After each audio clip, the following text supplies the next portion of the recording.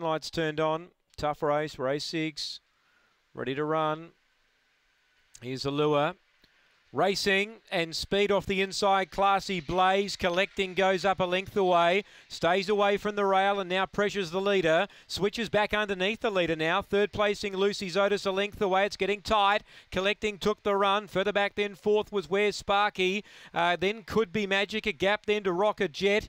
Lectra Theory Rampage Luke. Now the leader is now Lucy Otis got through. Collecting's coming again. They turn. Lucy Otis a length in front and holding on. Lucy's Otis Otis took the run when needed, collecting second. Could be Magic. Rush Lake got third. Classy Blaze fourth. Then came uh, Rampage Luke. Uh, Rocket Jet. Where's Sparky? Amongst the tail enders with Lectra Theory. Time 30 and 13. Lucy's Otis, number three. Well, collecting took the run down the back, but whilst, whilst he did that, Lucy's Otis followed him through and gets the money, number three. Felisa Rasmussen defeats four collecting and six could be magic. Three, four, six. One got fourth. Classy Blaze. Two and a quarter.